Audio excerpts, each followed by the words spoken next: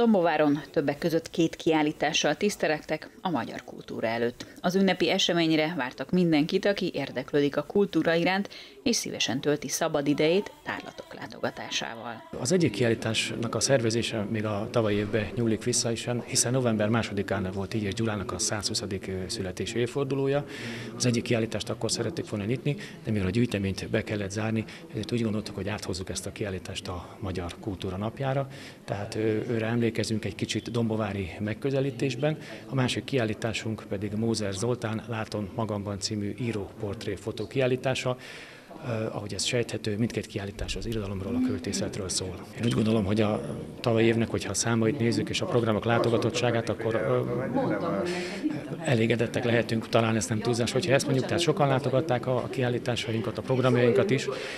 Annyiban változtatunk az idén, hogy kicsit hosszabb ideig hagyjuk, tehát nem havonta látogatjuk a kiállításokat, hanem ez a kiállítás, az így és kiállítás például két hónapig lesz látogatható, mivel szeretnénk iskolai programokat szervezni, szeretnénk, hogyha minél többen eljönnének, és hát előadásokat is szerveznénk rá. Tehát hogy többen megnézik. Úgy gondoltuk, hogy ugyan Petőfi emlékév van, és hát majd mi is fogunk még évközben Petőfivel foglalkozni, de Íjesnek van azért egy dombovári kötődése, és, és ezt mindenképpen fontosnak tartok, hogy erről, erről is beszéljünk, illetve a kiváló írónkról, költőikről, akikről nem csak az iskolában tanulnak, hanem a felnőttek is ismerik őket.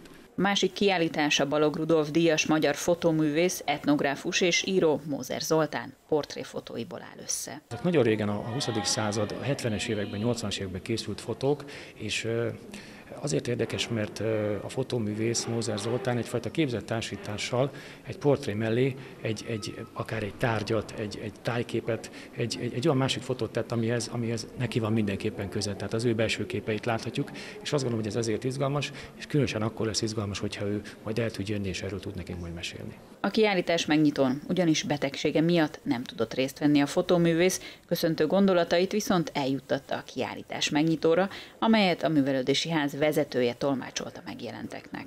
Szigorúan éltem az elmúlt években, szinte ki sem mozdultam otthonról, de az elmúlt héten négy helyen is volt jelenésem, bepótlandó az elmaradásokat. Ezért a képek kapcsán egy rövid vallomást küldök. Bár Ilyes Gyuláról is, akinek sokat köszönhetek, szívesen beszéltem volna. Én, amikor a gimnázium után az egyetemi éveim alatt fotózni kezdtem, olyan tanár vagyok, akit senki sem tanított fotózni, de én 14 évig viszont két egyetemen is tanítottam, csak fákat fényképeztem. Életem egyik legszebb és legerősebb anyaga. Egyetem után következett a magyar középkor. Viszont portrét nem tudtam készíteni.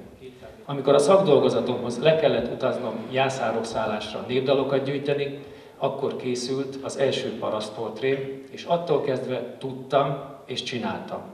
A csinálni azt jelenti, hogy én hívtam elő a filmet, nagyítottam ki, kereteztem be 40 éven keresztül a képeimet. Minden kiállításom egy élményre vagy gondolatra épül. Ez, ahogy a címe is mutatja, egy belső látásra. Mivel az itt látható írókat, költőket ismertem, néhányal jó barátságba is kerültem, ezért néha az életük egy-egy mozzanata, vagy életművük egy-egy sora jutott eszembe a képek párosításakor. De ezt inkább játéknak mondanám, amiben, ahogy itt és most is, bevonhatok minden kedves látogatót, nézőt. Ebbe a játékba vonja be a tárlat látogatóit a fotóművész. A portréfotókat tartalmazó Látom magamban címet viselő kiállítás a Művelődési Ház aulájában látható, míg az Illés I és család tagjainak munkássága előtt tisztelgő tárlat a Majoros Galériában várja az érdeklődőket. A kiállítás megnyitón Markovics Magdolna nyugalmazott pedagógus idézte fel az Illés I és család életét. A népes család tagjairól számos információt tudhattak meg az érdeklődők. 1908-ban ebben a házban nyitott Illés Lajos Fehérló néven vendéglőt. 1911-ben ebben a házban tartották aranylakodalmukat szüleik, melyen a népes Illés család 49 tagjáról készült csoportkép. Ezt láthatják majd a kiállításon.